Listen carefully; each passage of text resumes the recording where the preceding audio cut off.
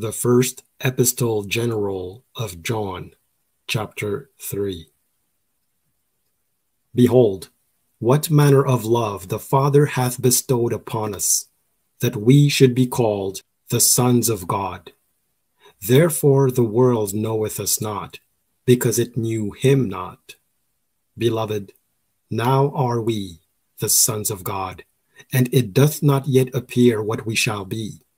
But we know that when he shall appear, we shall be like him. For we shall see him as he is. And every man that hath this hope in him purifieth himself, even as he is pure. Whosoever committeth sin transgresseth also the law, for sin is the transgression of the law.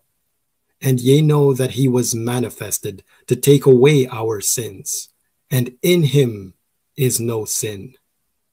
Whosoever abideth in him sinneth not. Whosoever sinneth hath not seen him, neither known him. Little children, let no man deceive you. He that doeth righteousness is righteous, even as he is righteous. He that committeth sin is of the devil, for the devil sinneth from the beginning. For this purpose the Son of God was manifested, that he might destroy the works of the devil. Whosoever is born of God doth not commit sin, for his seed remaineth in him, and he cannot sin, because he is born of God.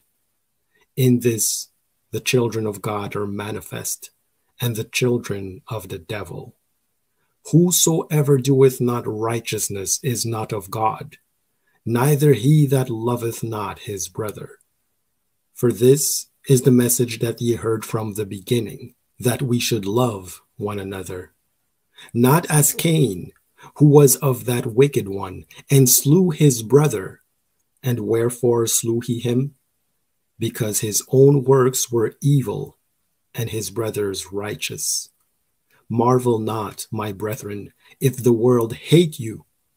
We know that we have passed from death unto life, because we love the brethren.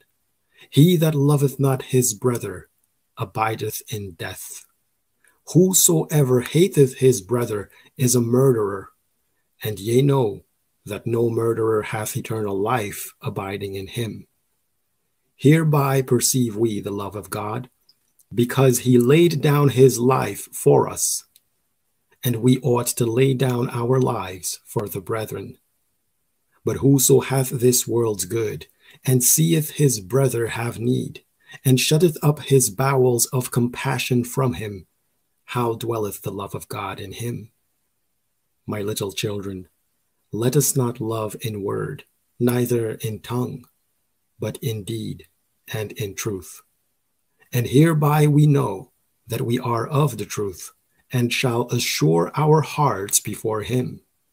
For if our heart condemn us, God is greater than our heart, and knoweth all things. Beloved, if our heart condemn us not, then have we confidence toward God.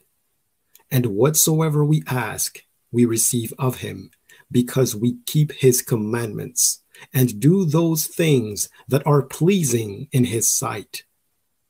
And this is his commandment, that we should believe on the name of his Son, Jesus Christ, and love one another as he gave us commandment. And he that keepeth his commandments dwelleth in him, and he in him. And hereby we know that he abideth in us, by the Spirit which he hath given us.